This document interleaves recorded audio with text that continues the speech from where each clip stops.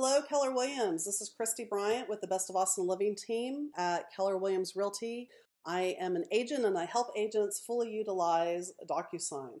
So I'm showing you right now how we're going to uh, utilize the import function from dotloop into your opportunities. There is another video out there. Um, I want to show what happens when you have to add in information in order for the import to fully happen. So if I click, I'm in opportunities right now, I click on import.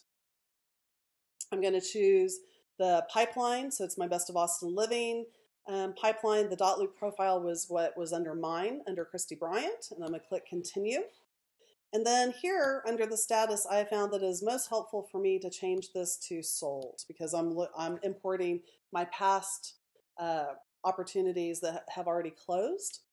And so I'm going to scroll down and I'm going to find one to pull in. Um, so let's pull in the one for uh, Celeste and Steve. So uh, I have found for myself that I need to go ahead and write down what this closing date is. Otherwise, I get a little tripped up um, when I'm doing the import.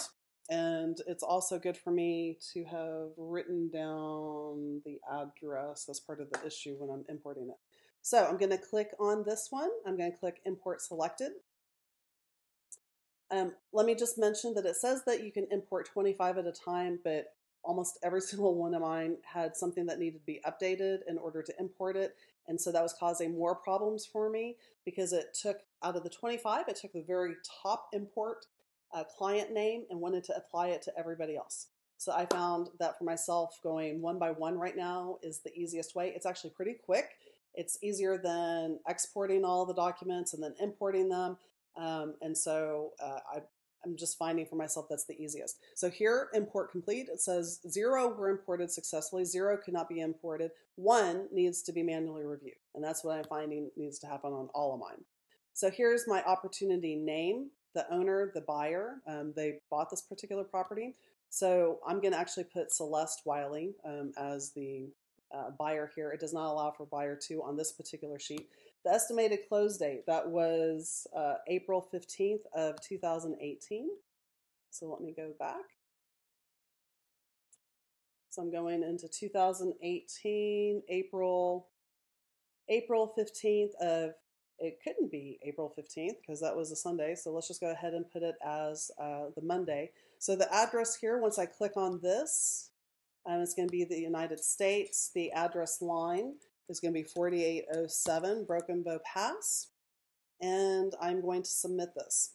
So when I, when I, okay, so here we have everything in. I'm going to click Save and Exit.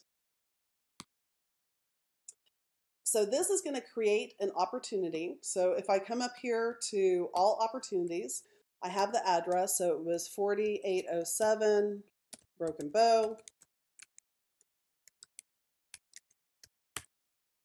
I'm going to click on this opportunity.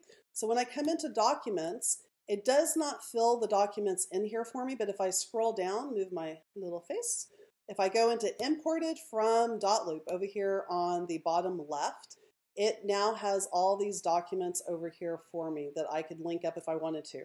Frankly, I don't need to link them in, but it's nice to have this information. I don't know about you, but I often go back and sometimes I've needed to pull surveys if somebody has sold quickly. Maybe we need to look at an inspection report. Something has come up and I've needed to look at some documents. So now I have these documents in command, easily accessible, that were pulled in easily from dotloop. I hope that this helps. If you have any questions, any requests, let me know.